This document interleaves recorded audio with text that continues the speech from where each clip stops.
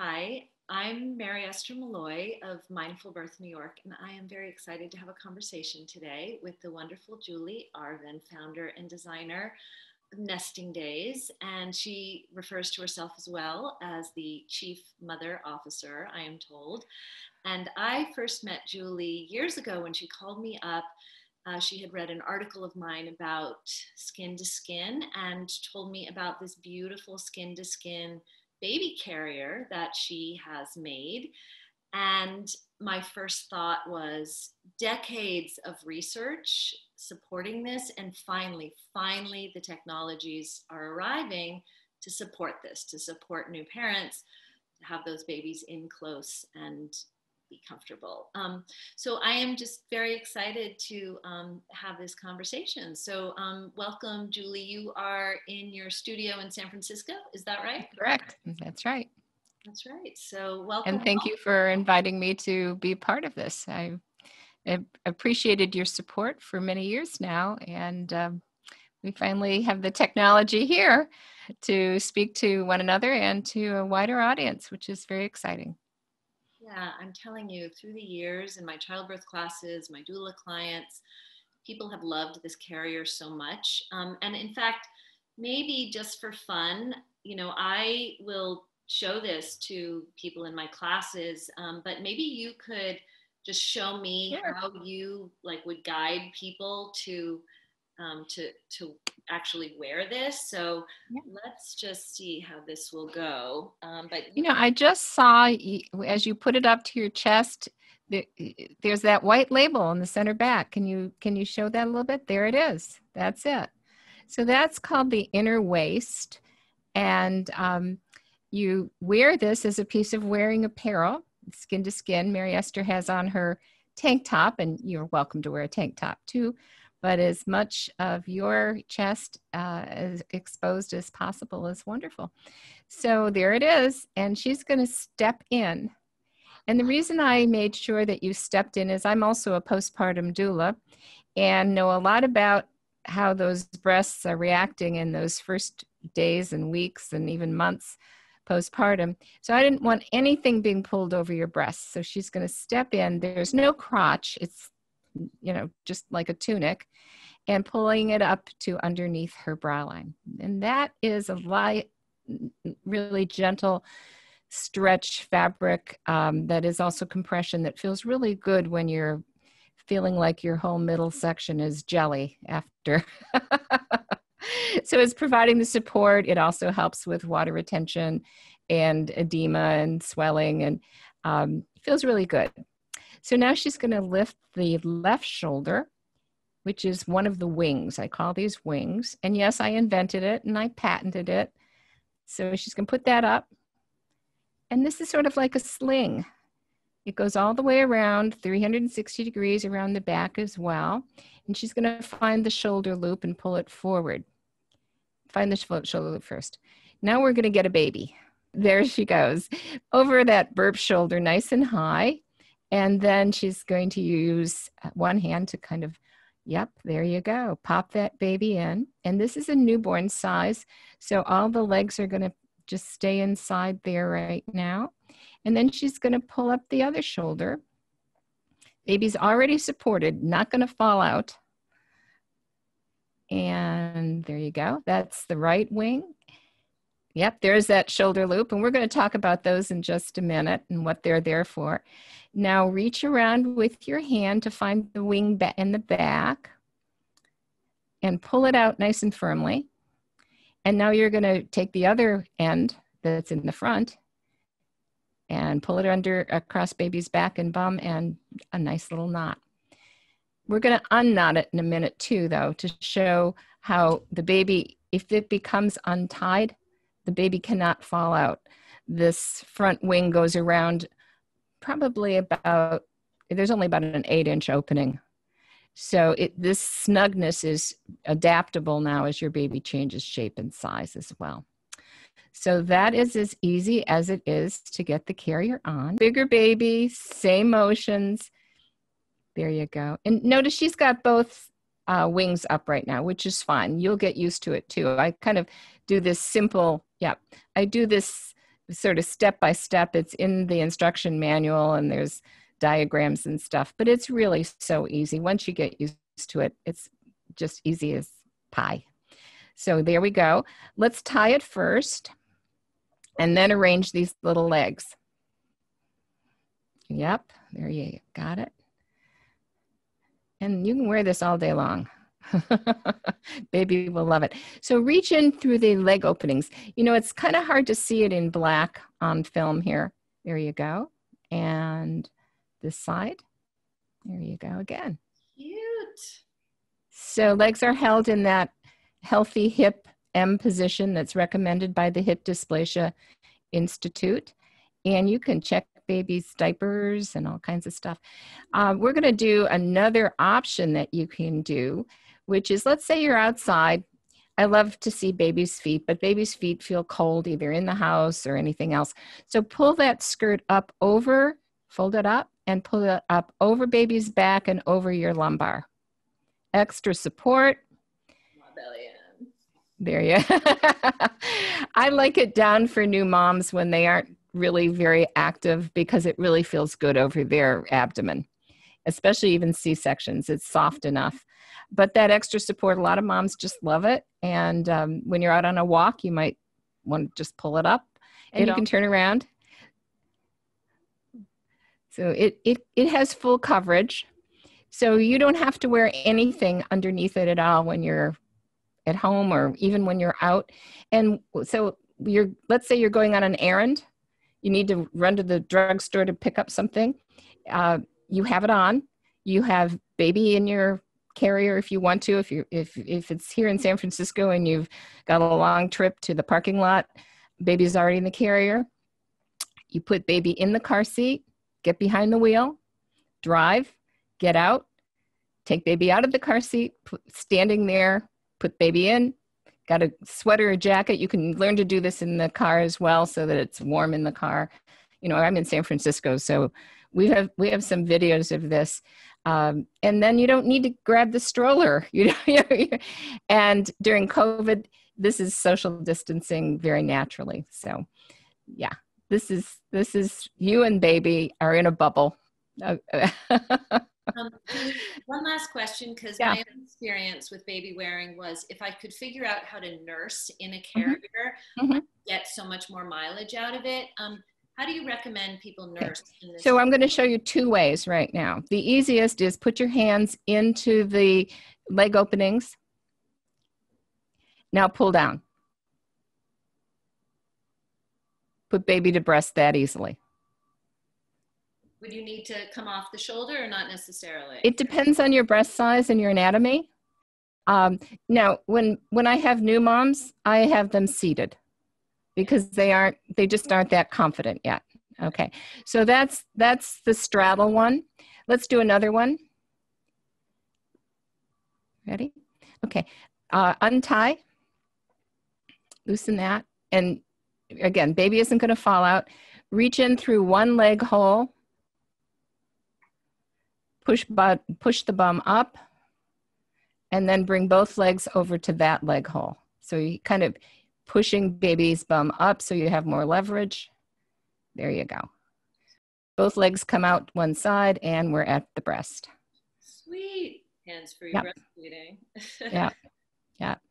So I'm excited that you could show that because I have a hard time walking people through it and I have a hard time asking moms to demonstrate that for videos because of the modesty issues that we come up with.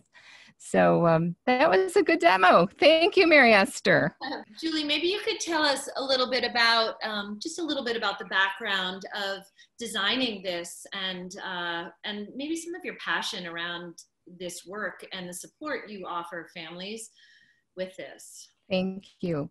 I love that you called it technology because it, it, it feels so important then, you know.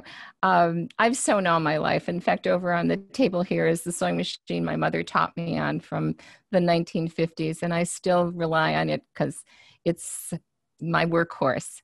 Um, and I've loved sewing my whole life. Uh, when I grew up and became a preschool teacher and a mother of two and um, a part of my community and PTA and all the things that I was involved in as a parent. Um, it's just been such a consistent theme in my life.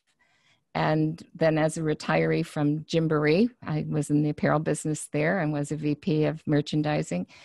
Uh, I wasn't sure what I was going to do. And the story is, I literally went to a, a, sustainable gardening class here in San Francisco and thought, oh, I could garden all my life. That'd be fun.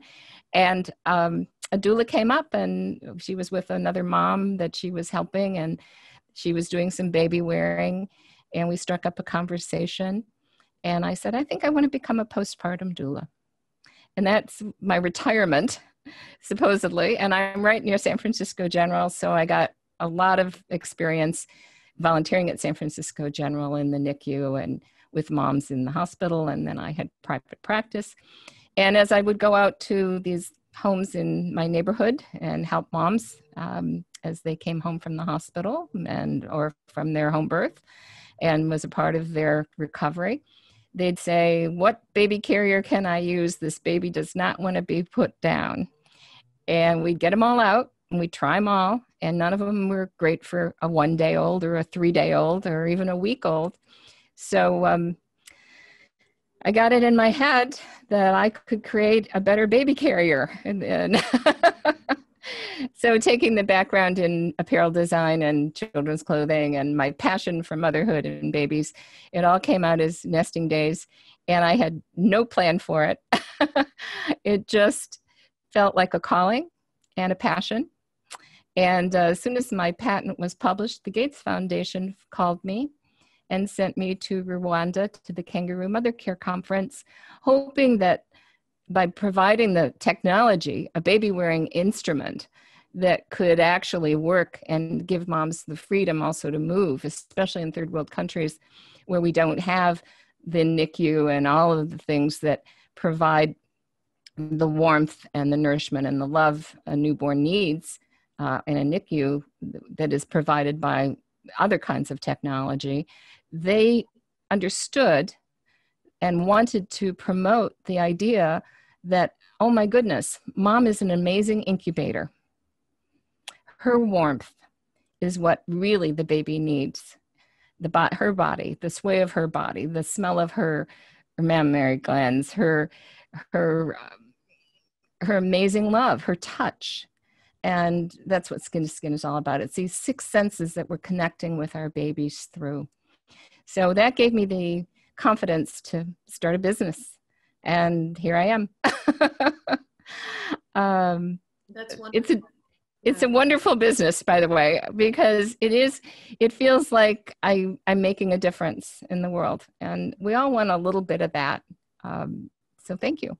Actually, an extraordinary way to support your child's development. Um, in 2017, 2018, we had um, some really fascinating research come out about the formation of the prefrontal cortex.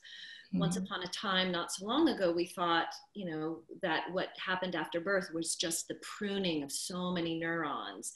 And, you know, those first three years um, are so important to the development of a human because experiences shape what is fired and wired and what is lost, right? So those first three years are absolutely so critical in shaping the health of that brain. But what we're learning now is that over the first three months of a baby's life on the outside, the neurons are actually migrating and we are forming the prefrontal cortex. And we want that baby to have a very low stress experience of life on the outside so that we have this optimal brain development happening. And what is a low stress situation for a baby? A low stress situation is, is when a baby knows it's safe, right? So babies are born with this um, sort of meter like, am I safe, not safe, safe, not safe. And just fascinating research is, is showing us that with our long evolved biology, where connection would have been survival for these babies that every aspect of their physiology is supported when they are in close with the mother and so when they a baby is with a mother they're smelling the scent of amniotic fluid secreted from the Montgomery glands on the areola, and that that is telling the baby's brain, I am safe. And with the baby able to know it is safe deeply, the baby can be in a state of rest and digest and growth. Right. And not in a state of fight, flight, or freeze, am I safe? So when we do separate young babies from their mothers, we are learning, even if they look peacefully asleep over there, that there can be this autonomic level of like, am I? Am I okay? And we see it. Respiration is not the same. Yes. Um, uh, cortisol levels are different. Um, uh, even sleep cycling, right? So when a baby is in close, we have regular sleep cycles, and when a baby is separate, it's not the same. And so I love this carrier because it just supports that closeness and it makes it easy. I mean, for me, this is the most truly hands free carrier. Um, and I love that as well because as a new mom, like you do want to eat, you do want to, you know, carry on. And it, it's, I feel like with this carrier, it sort of moves the pregnancy bump from here up right. to here. right the intention was that it would be a second womb for the for the fourth trimester and uh, all the things that you're saying are so supported by the science that you are referring to and that i was introduced to in 2013 as a well 2010 as a doula and then in 2014 just expanded on that when I uh, was in Rwanda and have followed that science ever since. And I like to say that it's really the science and the soul of skin to skin that I'm interested in. Because the science, I love to hear you talk and I love to read about it. But running a business, I don't get as much time to do that. I'm spending a lot of time making baby carriers and yeah, the things that are involved in that. Um, but you know, we know about oxytocin now. We know uh, how it erases birth trauma and or helps at least mitigate whatever trauma baby and mother are going through. That this PTSD that can actually occur in many cases. I had a traumatic first birth, and we were separated because of the timing in in history. And I moved to San Francisco, and seven years later had my second child, and Nancy Bardacke was part of my delivery team. And they didn't let him go. It's like she's you're not taking this baby. She knows what she wants. She's got her birth plan there.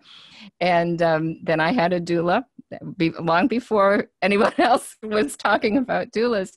And um, the difference it meant to me is really probably the the soul of why i i do this. It gets registered in us. And i you know seven decades into my life now we all tell our birth stories every day. We, I'll be 90 and you'll still have to listen to my birth stories and this passion as many many of us always will. Birth changes us. It, and being parents i mean adoption changes us. This caring for this new life is amazing and you asked me yesterday when we were speaking as sort of as we are winding this up what my wish is for the parents that are out there listening. And it's really that they fall in love. Uh, a doctor in Rwanda said after three days, and he was very frustrated. He was uh, from Johns Hopkins, and uh, he said, You know, we've gone, we've heard lectures and this and that and research, but newborns really only need three things they need warmth, and that's your warmth. That's important. They need nourishment and it's almost constant. And what we know is when your baby is connected with you, your prolactin is pumping all the time. Oxytocin and serotonin is helping it. Milk supply improves, breastfeeding success is improved. And you, with your demonstration, Mary Esther, you can see, Um, you know, 18 hours a day is normal to be at the breast, right? Out of 24 in those first weeks. And mothers will say, that's all he wants. He just wants the boob all the time. It's like, yeah, I know. And so does this doctor. And he said, and then they need love.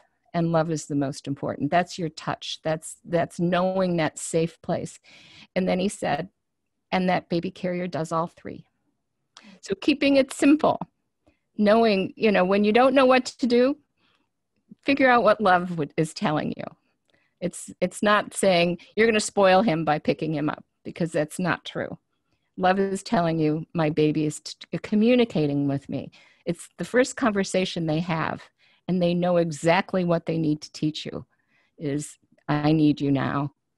I won't need you as much 6 months from now or a year from now. So my wish is that those first 3 months that shape the nest are really those profound ones that I still remember. I can still smell them. I can still have my arms ache to hold them, right? Uh, and they're men, they're grown up. That's still in me. Thanks. That's great. Um, Julie, real quick before we mm-hmm. close, I see some pretty things behind you. Oh, right. Would you yes. mind showing us real quick what you've got in the studio there? So you have the black, and it's still the preponderance of orders, and I love it. Um, and in making colors is much harder because of some restrictions of, on how much thousands of yards of fabric I can buy. But we've just produced this one, which is marine blue, and we kind of like it. And then we have a, a gray over on this side, and um, they're both really soft and sort of pre-washed. And then I think you can see the men's. It's in gray and black. I just did a redesign on it, and I have oh, a couple hundred coming in next week. We've been taking pre-orders on them because COVID has made some challenges um, in production. We our our polka dot, which is one of our staples, um, the fact the printer that prints our polka dots had a had an outbreak, so he has to close. So I I'm very transparent on online. It's like they aren't coming for I'm not sure how long, but order something else. So we try and give you some choices. And then the stripes, um, I've done accessories in the past. Um, I I don't love calling them breastfeeding cover-ups because I think women should be proud of their breastfeeding. But for modesty, I understand. So those are going to be um, my latest design, which would be a, a one-shouldered um, breastfeeding cover-up, and they're going to be really strong, soft, and you can knot it on one side so that you still are visually um, connected to your baby and also a bit fashionable. And um, last, I, I did, I'll, I'll get this out. This will just be for Christmas, and it's so simple. I decided to make some jammy bottom, really lightweight things to wear around the house. And uh, it's just in these two colors. And then this little cover up that's really sweet too. And there will be a baby outfit for Christmas too. so that's that's um, what that's what I do in San Francisco, and I I thank you so much for. Yeah, thank you, Julie. Thanks for um, sharing your goods and what's going on inside that heart of yours. Um, thank you you do, and um, we'll be in touch soon. Great. Have a great day. You too. Bye bye.